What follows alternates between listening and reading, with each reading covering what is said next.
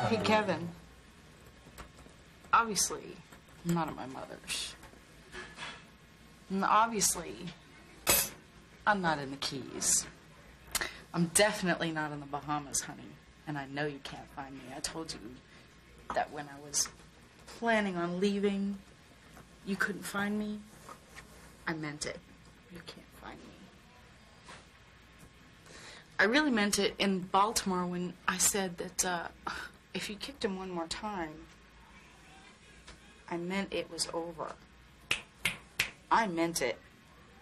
You don't hurt somebody this way and get away with it.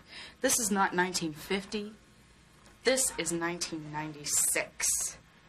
You know, women have rights. We can vote. You know, you get that cute little comment you tell the boys all the time in, in the bar, but uh, it's not funny.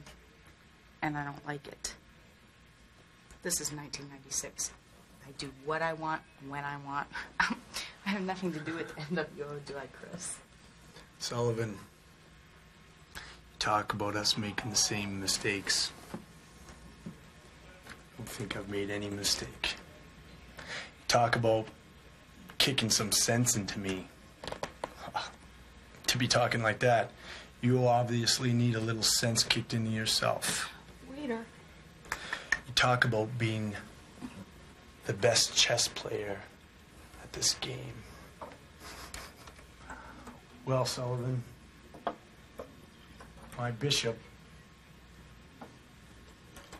takes your queen. Checkmate.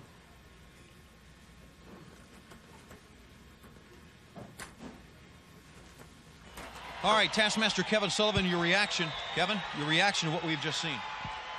Come on, Kevin, let's get out of here. Come on.